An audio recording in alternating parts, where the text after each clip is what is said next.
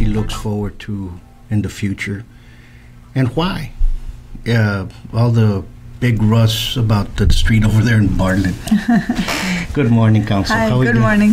Bien, bien. Thank you very much Let's for let's talk. me. No, no, thank no, thank you for coming. Um, number one, why? Let's talk about who is Nelly Vielma. Oh, um, a mom, uh, Okay. five. Um, I've been uh, in several positions here. I've been a teacher. I've been a counselor at MHMR. Um, I've been a prosecutor. I'm a business owner. I'm an attorney, and ultimately an advocate for people. Okay, and why did you decide to run? What was the big change of heart? Was it Because I got tired of complaining, and I said, if if not me, then who's gonna run? I kept on asking, knocking on doors, and seeing who was gonna run, and I saw that nobody was gonna do it, so I decided to do it. Oh, thank you for doing. Thank you for stepping up. Thank you.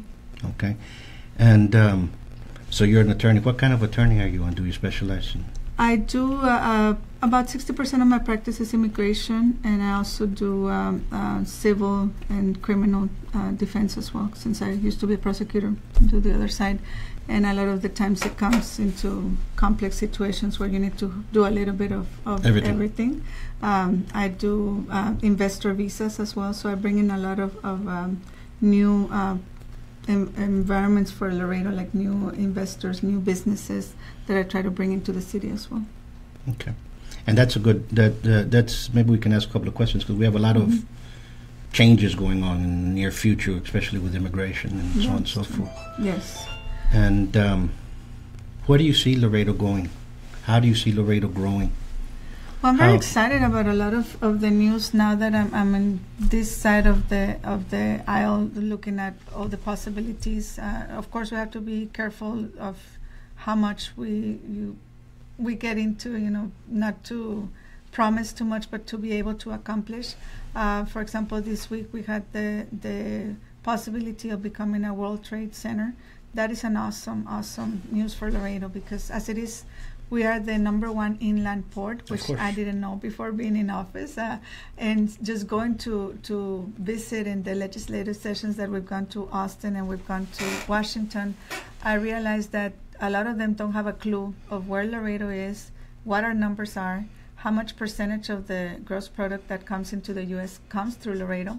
We had a very good presentation, which is kind of like um, the arteries that come from Laredo, and it's a GPS. Uh, I think it was, I want to say a thousand trucks or more that they put uh, of our, all the 18 wheelers that cross through Laredo, and little by little you start seeing the red lines of all the highways, all the arteries that Laredo fits into, and within a week we were all over the U.S. Taking course, all the yeah, products. Of course. So uh, many of the, the people, like for example, one of the the top notch um, uh, congresspersons that, that are in the state uh, in the border security issues hadn't been to Laredo, but yet they're making decisions as to how much funding to allocate. And so that's why we're trying to bring in the perspective from our city, you know, how much we need this, how much we don't want a wall, uh, how that will interfere just with our neighboring relationship with Mexico, how much we have this dependency. Our economy depends on both. You know, we're affected when the peso devaluates, and we don't want our downtown to close any more shops. You know, like we've seen. So we have to have a good balance and, and, and try to have growth and not put all our eggs in one basket. Have to diversify the economy, and, and so that's why we're looking at other avenues of growth for Laredo. You talked about um, the legis- some some of the legislators that were trying to put together the security of the wall. They didn't even come to Laredo. No, we invited them. Who who, Yes. who who are those that are all together and they're involved? Is it just is it a committee? Is it Yes. is it a committee of both Republicans, Democrats, or is it Correct. just one? So Yes. solo dos que están on both on both levels, at the state and at the federal level, we realized, of course, it, there's committees, but uh, the ones having to do with border security, a lot of them were not aware of how vital it is for us to have a good uh, communication. You know, I believe in security. I mm-hmm. believe in pre- preventing yes, the future. Okay, I'm for better security. I'm all I'm for for a wall. If we mm-hmm. need it, put it. If we mm-hmm. don't need it, don't put it. Now, Texas has huge difference in terrain. Yes, So to spend the money for the type of wall that is needed, it's gonna it's gonna overbearing. But now you have Southern California and Arizona and New Mexico where you need a wall Correct. or a fence or a better structure. Porque ya, Yes. ahí. Yes. And so, you know, so on parts like that, you need it.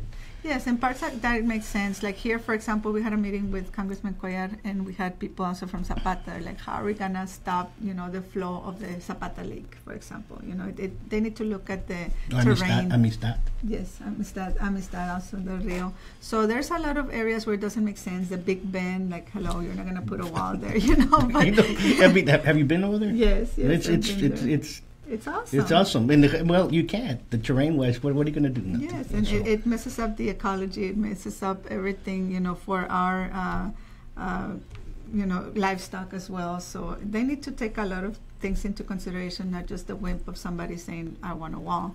Um, I understand, like for example, in Yuma, and I did travel with the city about, I want to say, a month and a half ago, to the same facility that President Trump visited uh, last week.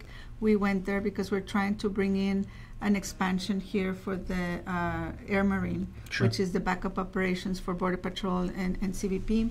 And uh, they're here, but they're kind of crowded, and we need funding. We need to try to uh, have more of the helicopter run uh, operations that they do.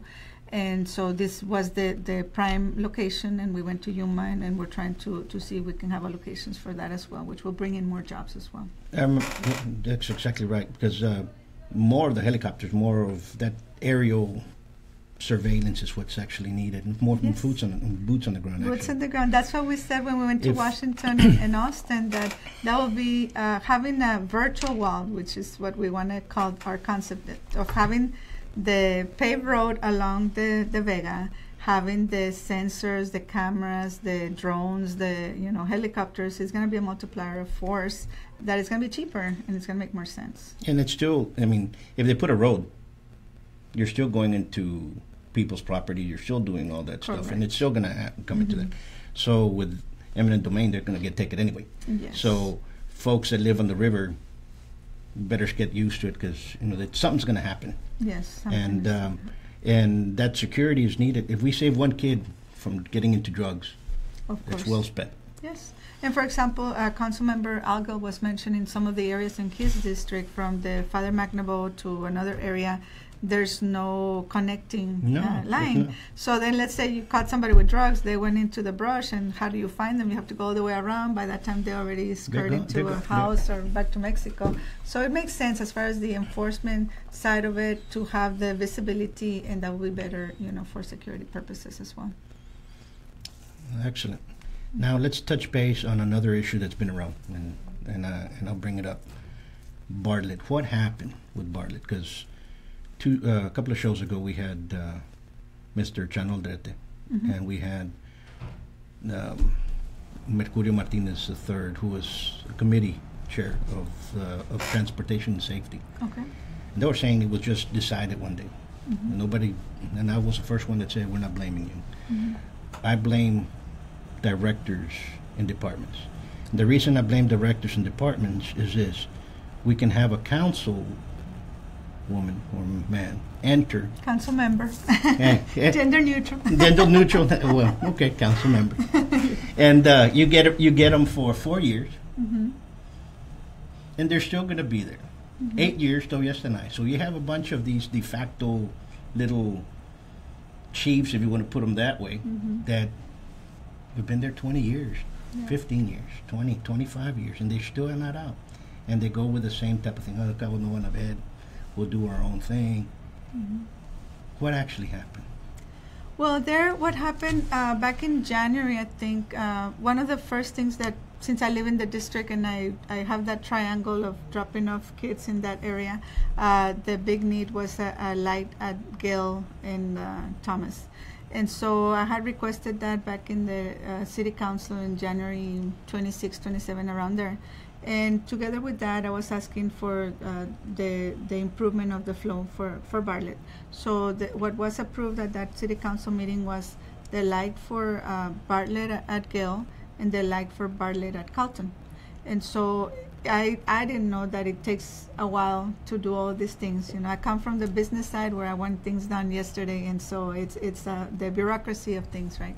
But also, um, once we were able to get that light into place, uh, the the traffic department director, which is traffic and safety department director, was looking also at the information provided by the Federal Highway Administration Department, who conducted a, a two-year study of Laredo and the accident data, which is posted at, at the City of Laredo website on, on my section. I posted all, all the Bartlett data as far as crash accidents. Okay. So um, this was this didn't go through council or anything. This was just a decision that Mr. Murillo uh, did to create a protected lane, and we had had I think I don't remember the month, but it was already during my term. We had an accident involving uh, um, an ambulance Okay. at the corner of Bustamante and Bartlett. So it's the lifeline of Laredo. I mean, many times when you drive through Bartlett, there's an ambulance and you have to move Of out of the course, way. And so um, it's important to have that protected uh, lane because, as he explained in, in the most recent meeting that, that they had with the traffic department committee, that's what it's called a yellow trap in the traffic uh, engineering terms. So basically, you don't have a protected lane. The the line in front of you doesn't know where you're going, and that's going to cause an accident. So he decided to have a yellow um, designated protected lane, and that one coincided all the way to Jackman because Jackman already has that. So they decided to print the yellow line all along so that we wouldn't have this weaving in and out and causing other accidents. Because whenever people were going to turn, let's say they were going to turn to the VA clinic, well, they will stop in the middle of the road and they, they will have rear ends, or they were going to stop at uh, you know at another intersection. So that's why they decided to run it all all the way to Jackman because that was the alignment already of a turning lane. Now, uh, in the process and listening also to the constituents' uh, request, I did ask them to re-evaluate and monitor, and I will go on my lunch hour. I will be videotaping at the corners when all these changes were done, sending emails to the appropriate departments, and I did ask for them to reevaluate uh, that turning lane. So as of last week, I think, no, the week before, they uh, took off the that turning lane to nowhere that was called, uh, which was from after Hillside and all the way to Jackman, except at the corners where there is already the, the light, like at the at the park. You know that park light, you still have to go into the protected lane so people know where you're going. Uh, but the other one beyond the park and going to to Jackman, that one's back to the two lanes. Now, last week I had a couple of meetings again, and, and I keep on monitoring, and, and that's one thing that. Uh, from talking to, to the people like Mr. Alderete last time I told him I keep on monitoring, I'm gonna continue to monitor. He's like, You're lying. I'm like, monitoring doesn't mean lying. Monitoring means I'm looking at it. I'm not an expert in this field. I'm not a traffic engineer. You know, that's not one of my degrees, unfortunately, and they made fun of about that in, in, in Facebook. But I'm gonna uh, listen to the experts in the field because I don't have that expertise. So what happened uh, this last week, I was asking them also about the visibility because I drop off my son at Harmony. I get at Carlton and Bartlett, and there's no visibility. The the, the fence of the school uh, coming westbound affects the, the the visibility. So they're looking at that at, at having to move the fence back. So then little foquito goes off, and I said, okay, we're gonna move the fence back. Can we open it up? Which now I found out in the engineering terms means flare out the corner. so we're looking at that, and they said, as a matter of fact, there was a previous uh, study that we had done. I don't know how many years ago, like eight, ten years ago. Let me pull that out because if you notice on Sandman, like right after San Martin, they Mhm. had started to widen, and then it stopped. So I'm hoping that we can widen that corner and, and leave intact a, a middle box for turning once we Mhm. get that light. Um, in the meantime, and continue to monitoring the, the, the process, there's been people that still make a stop. Like we're, we're creatures of habit and we're still making that stop. And that was, there was some near accidents. So for safety purposes, uh, they decided to put back the, the stop light. And that I was, you know, in agreement with that because we don't want any accidents. Uh, and also because they need to start working on the light. So there's a lot of things that, uh, like I mentioned, like I think it can be done right away and it can't. There's a lot of things that need to go underground as far as all the lines for for the lighting. Uh, there were several months also a process of getting the, the right of way for the for the right lane, right turning lane at Carlton going south. And that I'm trying to see if we can expand it because as they explained to me last week, if I'm asking for this flare, we need to have enough room on the side of that empty road so that there's kind of it's called like a box for the for the cars that are going to turn. So this is the the next process that is coming, that light, and then ultimately uh, the the synchronization of the lights from the Correct. Bustamante there all the way to Jackman. Uh, uh, So basically, Murillo is the director's name? Mur- Mr. Murillo made that decision, and uh, you know he's the expert in the field. He looked at the data, which is it was the fifth highest crash. Um, Correct, uh, no, no, you no, know, that's understood. Does. Murillo have to go before a committee before he makes a change, or can he just do the changes by himself? The I don't know exactly. I know that the committees are advisory, and ultimately it goes to city council. But there is some things that have not gone to committee, and and so for that I learned from my predecessor. For example, the median that was uh, Wyoming and McPherson in front of Sonic, which I was also blamed for taking it off, which nada que ver. I did not make any decisions there. Um, that one didn't even go through council. Okay, even though there was money spent on that median, uh, but I did dig up and got information about it. The recommendation from Mr. Murillo was a hundred feet median, but that would have interfered with the exit from that business from Sonic. So the former council member decided to cut it to about sixty uh, feet. That didn't. Uh, that didn't serve the purpose because it was also placed at the corner. So you have adjacent traffic from two streets and in the middle, so you're not really protecting the children that are crossing there. Uh, so what I had done is I sent an email to Mr. Murillo and I said I have several people complaining that there's been more accidents after the median, which in fact was validated. He sent me an email afterwards. And I said, can you please check into that or check what adjustments need to be done for that crossing? Within two weeks i started getting calls that oh thank you for taking off the median and i didn't make any decisions. It didn't come before city council but their department is traffic and safety. So if they go and look at the numbers and there's all these accidents that were caused by it i don't think they need to you know make all, all this havoc and they, they need to remediate the, the problem. So that's what they did. And i think that's wh- why that decision was done as far as the, the turning lane for safety. I think safety should prevail in all the decisions that are made Okay, excellent. But it still has to go to council eventually. Uh, some of the things have to go So to you can- council, others don't, Don't have because to. we don't micromanage. As far as the the, the charter, uh, I can't even go directly to tell Mr. Murillo do Do X this. No, because of that's course, that's the of course, city of manager, course. right? So whatever they do, it's it's with approval of the city manager. If it's something that, that is outside their budget or that they need a, additional approval, Then- that's when it then comes, comes to, to council to vote. yes. hmm Well, thank you for explaining, Thank you. And thank you for explaining. Here goes another another one. hmm We live in the border. hmm We have all of us have family in Nuevo Laredo. Uh, majority, you know. We have a lot of kids that are here, born here. The parents were born of, in Mexico. They never became citizens. They're still here. Mm-hmm. How are these laws going to affect it? Now, we have a couple of laws coming up here in Texas, right? The SB SB4. SB4. Mhm. It, it takes effect this Friday. And uh, what explain the immigration law, federal immigration law, because Mhm. that's your federal. You're an immigration attorney. hmm What does it state there? If a person comes in here legally, what has to happen to that person if he gets caught or deported or ex- Illegally. illegally? Okay.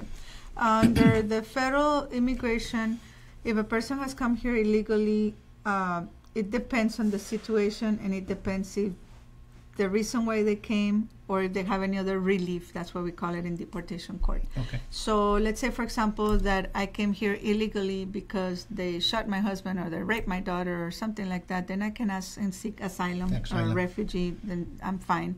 Uh, it could be other victims of, of different crimes, and that that's a, another area of the law that, that provides protections. But we still need to go uh, through a judge, through a or an administrative process.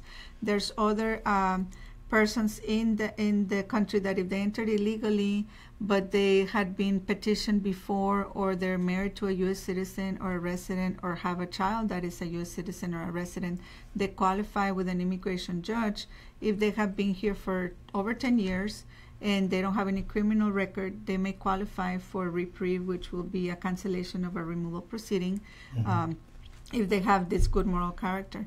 Um, under the federal criminal side of it, there is uh, it's a crime. Like I tell my clients, es, es un crimen pisar zacate. You know, it's it's a crime just to come in illegally, and it could be a misdemeanor, which is an illegal entry, and it's a federal crime.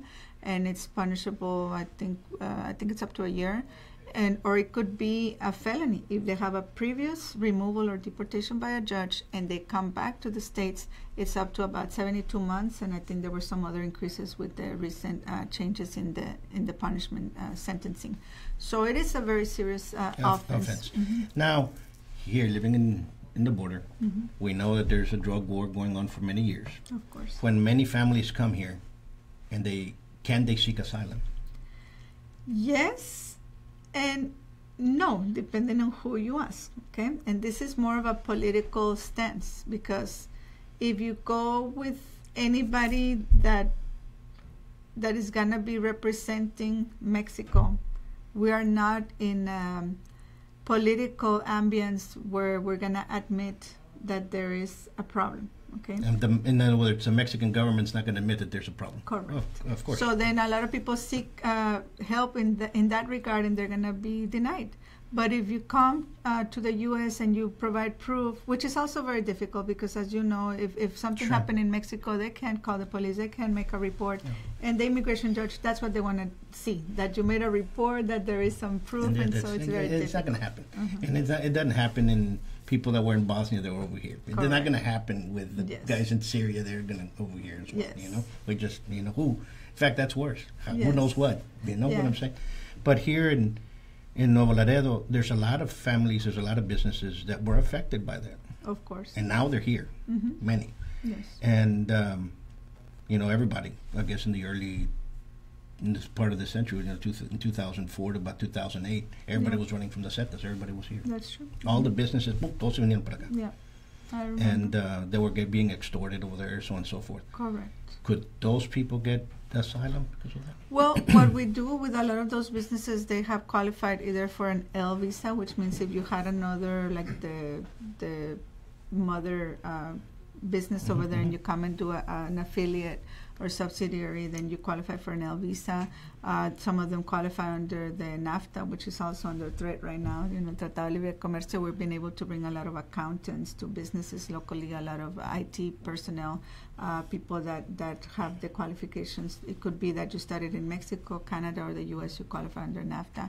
Uh, and some people, if they do have uh, documentation uh, and of this type of abuse, or I mean, they killed your your relative or they kidnapped you and things like that, then they can have ample proof to uh, be able to to get Fall an into asylum. as- as Mhm. asylum. And an asylum can be done affirmatively as long as it's filed within less than one year of, of Okay, getting into the U.S., or it could be done with an immigration court. And it, if it's beyond the one year, then we go into withholding or uh, what's it, Convention Against Torture as Okay, well. okay, Mhm. okay. And because that that is that is very much prevalent, especially here on the border. Yes. And, uh, One of the things that we need to clarify, though, and I did last year uh, with when uh, C-SPAN um, Washington Journal came to Laredo, Uh-huh. I uh, clarified a lot of the myths because this is what affects us nationwide. You know, that they're looking at, oh, it's Mexico. All the illegals are here from Mexico, and it's not true. Uh, we There's a lot of illegals from yeah, there's a lot of a lot of illegals illegals from, from- other You countries, know, I and so there's there's Canadian families here that have been here illegally for a very very long time. That's even- right. Only because they have blonde hair, blue eyes, and run around back and forth. you know? Correct. Yes, we have from Asia, from Canada, from Europe, Everywhere. everywhere, but we are the ones pretty much in the postcard of, of Yeah. illegal. But there's no law that that is now that says let's seg- let's segregate or separate Mexicans because Mexicans are there under federal law, right? no, but uh, let's look at the SB4, for example. Who do you think they're going to stop and ask for papers? Somebody Well, that's blonde and blue eyes, or somebody that's our color of Well, skin? but they do that anyway. I mean, we grew up with that. The border patrol, te dicen dónde eres. You know, where are you from? You got them guys in the mall and the bicycles telling people outside, de dónde eres? You know, it's Yes. so, so profiling, please. So um, that's yeah, I've been working with that. You know, we've been- we live- we live with that, you know? You but know? but now let's look at the whole of Texas. So It's if you go same thing more everywhere of the you know the Panhandle, or you go to Dallas. I mean, my I husband went to, to college in Dallas, and there was still an era in the '80s where Mexicans were not served at several Yeah, restaurants. Believe me, I went, I went, I went, I went, I went through the whole thing. I remember in Mm-hmm. college, I'll tell you, when did you come here? When did your family arrive? Well, to, to the United States. Well, my family didn't arrive to the United States. The United States arrived to my family. Yes. you know, Yes. they came this way. You know, I didn't come to the United right? States. The United States came to my Came to family. me. Eight of the states. That's, yes. you know, but that's the way that's the way it is, you know. And, and that's one thing of that, also too. yeah that, that history is something that we need to relate to our children because many times they lack those roots and they don't know Mm-hmm. how to defend and they think oh yeah it's true what we hear in the mainstream No. media you know but they need to know their roots as well And um, you know, Texas has you know we had a bunch of Latinos. Mhm. Bunch we had the we're called Texicans. A lot of people didn't know that, and even the blonde eye, blue eyes were called Texicans up until the Hollywood movie in '45, which is called The Texan.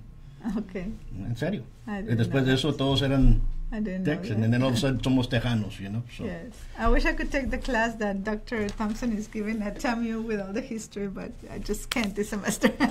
no, he's a good man. yes. But you know, so it's it's interesting how it Mhm. is, you know. Pero here goes another one. What's that before? SB4 is uh, the law that, that took effect and that is starting on, take on well, well, September was 1st. passed, but it's going to take effect, effect this Friday, September the first, whereby the uh, detention uh, detainer that ICE uh, requests has to be abided by by any uh, law enforcement agency if, if the person is, is in the jail, which we're already doing with secure is already there communities. anyway. It's already there.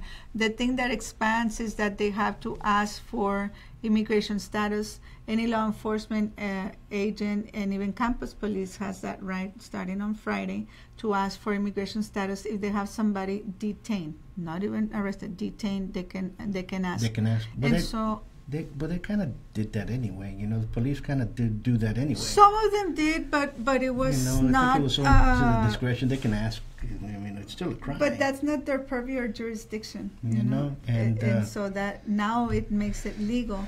But then you have some rogue agent that you know could take it further. And what what this law does is that uh, once it takes effect, we cannot legislate against it. We cannot put any boundaries. We cannot put any stop or any type of, of policies regarding immigration enforcement. So that's where our hands are going to be cut starting on Friday. As a city, uh, you know, sheriffs, police, government, we cannot even change policy. And what, what this law has is that it has more teeth than the Arizona Show Me Your Papers law because it uh, it's gonna call for a Class A misdemeanor if anybody doesn't follow it. Uh, it could be the police chief, it could be the sheriff, or anybody else. And also elected officials. If we try to make any policy against it, we could lose our seat, which is, I think, an affront on democracy because that, well, what do you mean lose your seat? So if you're opposed, that you can lose your seat. Yes. Because that's an affront, I think, on democracy. Uh, who's going to fight for the rights of the people that are going to be targeted by Well, racial so- profiling? well, racial profiling is one thing. Mhm. Um, protecting law-abiding citizens is another. and that should be the Legal priority. citizens, right? That, should, be the, pri- priority, Now, but it's not we're not be. supposed to be taking care of. If you're an illegal, you already committed a crime. Correct. So you understand what I'm saying? So now we have to decipher where is it, like you explained. Did it go into? Are you here because you need to be here? Are you here because you're asylum because you're going through the problems? That, Mhm. then we have to protect those. You know, I think there's a humanitarian Yes. right to that. Mhm. But um, I see this. At the ranch one years ago, we we found a young illegal.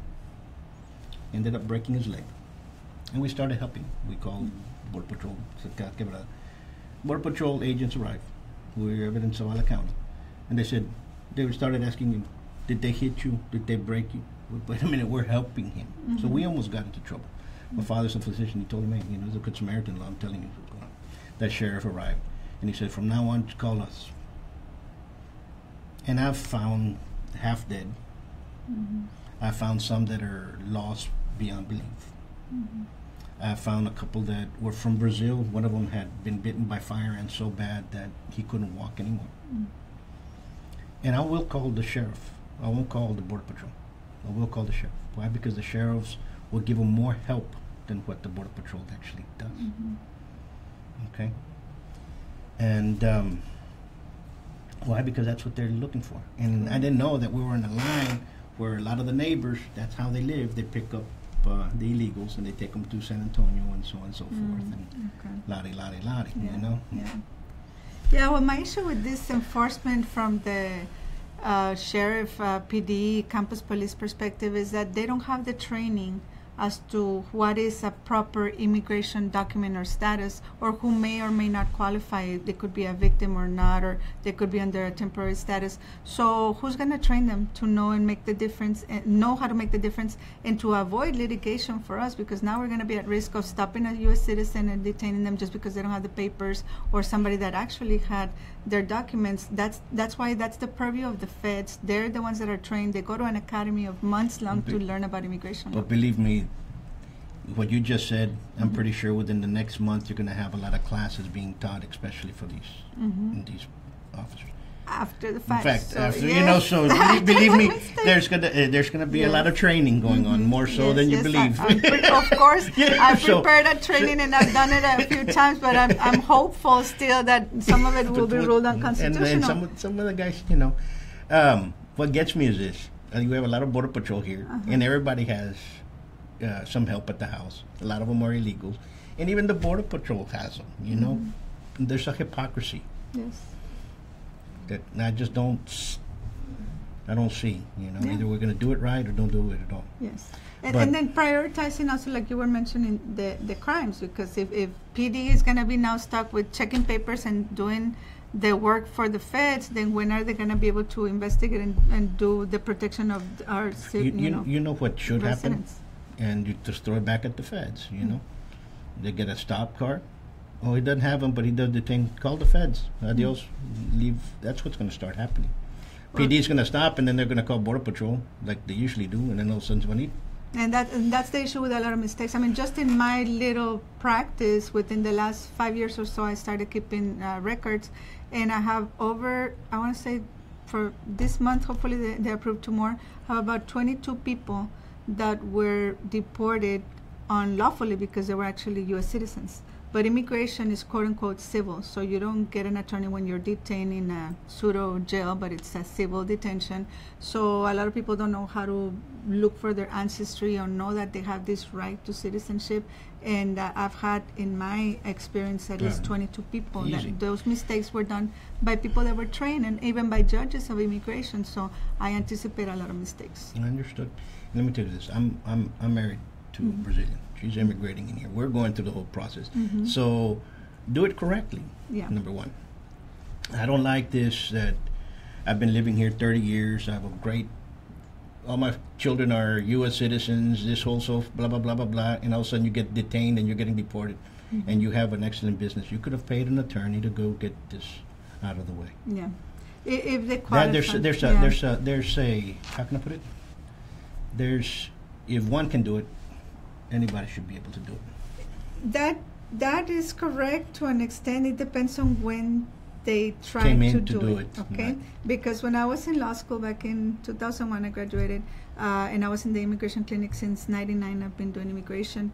Uh, I realized, and I, that's why I switched gears to immigration. I realized that there were a lot of laws that are ex post facto because they're not citizens, so they can be retroactively affecting somebody that might have committed. Maybe I, you know, I had a client, a grandma that stole uh, jeans and earrings when she was like 17.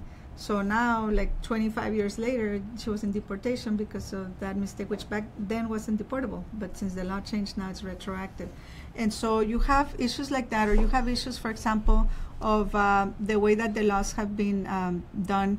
And primarily, I've seen a lot of, of um, I will call it discrimination against Mexico. Okay, Mexico, for Mexico example. or Latin America?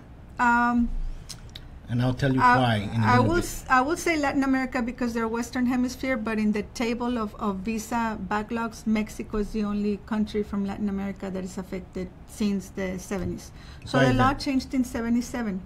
We used to have a, a, a system which was called the Western Hemisphere system. So if I married and when I immigrate my family, everybody comes in, even kids after born, Mhm. on the date of my marriage. That's the date that everybody, le Comes in, right? right. Comes in. But in 77, they changed the law.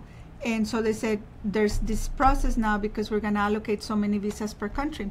Well, of course, if you're next to the U.S., you have a lot of family. Like you said, the, the river divided us. Of course, there's this connectivity. There's going to be a higher uh, rate of, of immigration, but yet we don't have a higher number of visas. So we have a backlog, and it, it remained from there. There was a lawsuit where uh, the Silva lawsuit that a lot of people were able to gain the retroactivity.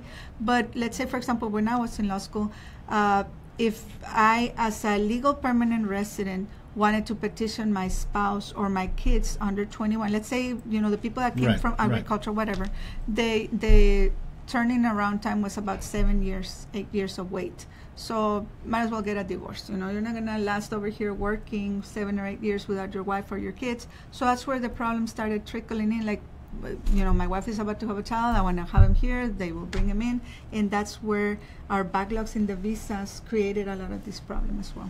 Now, you know, uh, we have, we deal with a lot of sports. One of one of my businesses is sports, so I'm always inviting people from other countries for martial arts. Mm-hmm. And I've seen that in South America, there's a different perspective on a person applying for a visa to come in in mm-hmm. certain countries. Mm-hmm. Okay, in comparison to more welcoming yeah, than than France or in Europe. Okay, and you, in France you don't need well you get a visa just like if I show my passport when I go over there, but especially in Brazil you have to get a tourist visa. Okay, now what I've seen some of them you have to produce that you have money, you have to produce that you have a job, you have to produce that you have uh, how can I say property that you're going to go back to. the financial roots, The roots, of right, yes, right. yes. Mhm. But then you go to they make it so hard that you know Brazil's the size of the United States that they have to go from one town like say Laredo and you're count you're set to go to the consulate in New York City. Well, then you have to pay to go to the consulate in New York City. You take all your documentation, and else you show it, and they say, "Out, you're not." You're not okay, Mhm. you didn't make it. Then you start wondering why. Oh, but you didn't make it because you didn't go to this mon- monitoring middleman agency. Oh, ¿Me entiendes? Mhm. And I'm pretty sure it happens in Mexico as well. Mm-hmm. You know, in Mexico, if you're if it's in Mexico and we understand that there's there's a corruption level there, things are going to change a little bit different. Some people Mm-hmm. are going to get in here while they were down here in the bottom of the stack. Mm-hmm. At repente you see them over here while others. Yeah. Mhm. and that's never going that those problems are not going to change until those managements of those Yeah. agencies and i'm talking about the u.s consulate agencies Mm-hmm. are not re-evaluated and like trump says drain the swamp and drain the swamp completely Mhm. because i cannot i see a double standard especially for latinos this is like the like the gentleman from africa that brought in ebola he was supposed to six months to get a visa and within 72 hours he was already in miami Mhm. understand what i'm saying Yeah. and he got it. So there's a difference. There's a double standard. Yeah. And until we, until those countries do not stand up, Mhm. why is that? Some of them told me. They, like one of the customers to Chase in Brazil explained to me that the reason Brazil doesn't cross over like France and so on and so forth is because the airports are not suitable for the security standards of the American aviation. I don't know if that's true or not. I said, okay, what have you. Mhm. France is, and some of the other countries are. Mhm. Understand what I'm saying? Yeah. Some in Chile, the same thing that happens. We try to bring in a karate instructor from Chile, and the fir- first thing, boom, denied, denied, denied. Some don't. Some. But in. but maybe also depends on on why they they're coming. If they they have what is the 214B like if they have any notion that they might stay or any it's more of their No. subject. I, I think uh, it's more like what what, uh, what a lot of people that in Brazil are saying. It's kind of like there's 30 people, and all of a sudden three people show up, and it's kind of like you know, no, no, yes, you know, no, no, yes, you know, kind of thing. Because we have other types of visas for that for entertainment, which are the O and the P visas, and it depends on the level of, of uh, their exposure. They have international acclaim, they're able to come in and, and they're able to stay or come and do a, a you know a, a An event and go back or whatever. Yeah, event no, that's like that, that's so. that's that's good to know. Mhm. But I think in in that sense, especially in Me- in Mexico, I think that's where the problem lies. Mhm. If they would just, guess what, get rid of everybody there and start from scratch, and Yeah. I think a lot of that backlog would change. Yeah, the, the the backlog we have right now it's it's on our side because Mm-hmm. we don't have enough, and uh, there's this push for immigration reform, but I think it's it's not well supported because it will completely uh, shut off some of the uh, family petitions, and it, it's repetitive of what we already have. We already have investor visas, we already have professional visas, so I think it's just expanding on that. But maybe something like like uh, Canada is good, a merit system where you know you, what are you bringing in and what is your education, and you don't have a criminal record like that gives you extra points, things of that nature. That that's going to help. Even for example, the the the agricultural uh, visas, uh, it's it's a H two A. Uh, it's usually a push, and you and the the farmers go to a different country and they bring people, right? And I thought for the most part that it was working great, and I thought, well, this might be expanded, and it may very well be expanded under this presidency. But I sat in at the meeting for the um, migrant Texas Migrant Mhm. Council last week, and one of them uh, was a farmer, one of the board members, and he was saying it's very different when you have a farming family that has been there, that knows the fields, that takes care of the pruning carefully, to where you bring, you know, 50 See guys from te. Guatemala, whatever, Mexico, whatever country, they're just, yeah, dijo, you can just pass and you see that one was an H2A field and this one is a family uh, done field.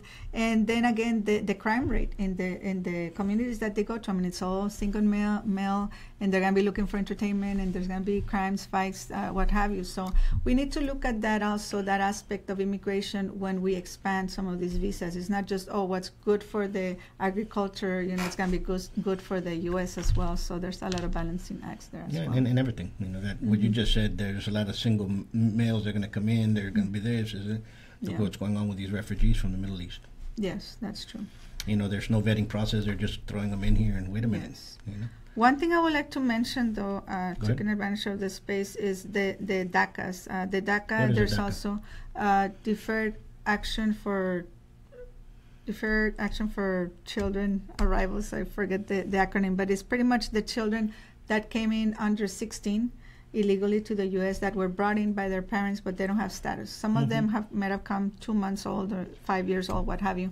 A lot of And them have grown up. have grown up here. All that And- is missing is and- uh, they pledge allegiance every day, You know. but they don't have the paper. and and not only that, a lot of them don't speak Spanish. Correct. They've never been to Been their to a- country. and, and they don't speak Spanish. Mhm. They're and I've, and you see them on on that sense. If they're here, they're good citizens, so on and so forth. There should be some type of change to correct that Mhm. status. yes. Now, if they're going to remove all those, eh, you know, can't. You have a lot of them that have gone into the military. Yes, that's true. They they And, have uh, you know they're sacrificed. excellent. They have they're excellent soldiers. They've Mhm. been, and a lot of them gave their their most, which is their life for our freedoms. That's true. And I was under the impression that if you did go to the army, you at, at the end of your term you were going to become a U.S. citizen. That's not the case, is it? Well, uh, I do have a, a couple of, of boys here from Laredo that they came in and they were uh, their family was a victim of violence. Their mom was a victim of violence, so I had gotten them under a U visa, and then I was able to get them residency. They, but they wanted to give back so badly to the Sure. community because they had received you know all these supplies and shoes and everything. They were very poor, so they thought, how can we give back? They wanted to join the military, and they were denied in several branches until we made them residents. They started training uh, with the Marines, and as soon as they they uh, they did their their boot camp. Uh, the day before the graduation, they both were sworn in as That's U.S. citizens, and it's a great story that we have. You I have a, a student that's been with me off and on, and um, young young lad now is he's a he's a man now, no? and um, he was born here, Laredo, to a midwife, Mhm. born from a midwife. The to a what it seems to be of a underage girl Mm. at a time frame when that was not accepted. So they took the baby and they gave it to the lady that used to clean the house, the maid. Oh. Okay, hmm lived here, and then she moves back. Comes back, and he went through high school and everything. Tries believing he was a U.S. citizen. He is a U.S. citizen. Was told he was born here. Goes and tries to join the Marines, and he said, "Where's your paperwork?" Goes to school. Well, yeah, I was here. Here's where I went to school. Here's where I went to this. hmm They didn't accept him. Yeah. He's married and so on and so forth. Now they did an investigation. The midwife is is uh, ¿cómo se llama? She's she deceased. the mom that raised him is deceased. Yeah. So now he's in a state of limbo that nobody knows What he- to do. What to do. This, is there any other witnesses? Because in those cases, what I've done is I delayed birth certificate through court. We go to court and we take the affiants that, that can relay the story, how it happened, and, and there were witnesses to that. So you know we've been trying to Mm-hmm. Pick him up a little bit. Yeah, yeah, that's probably delayed birth certificate. Uh, one of the things on the DACAs, I did post on my on my Facebook, via my law firm, some uh, uh, advising, you know, for them because uh, we're on a deadline. The the lawsuit that was uh, uh, in the Valley against the Obama executive order, there is a, a, an impasse right now, and the the, laws, the lawsuit deadline is for September the fifth. So Attorney General Paxton and ten other attorney generals uh, told uh, President Bush pretty much an ultimatum. Bush, President Trump. I mean Trump. I'm sorry, Trump an ultimatum uh, to do away with the executive order, or they're gonna file suit. So it seems like the administration might do away with DACA, and so I'm, I'm, I'm I put several uh, scenarios there of how they can uh, try to get assistance or have their emergency planning because we have a lot of these kids.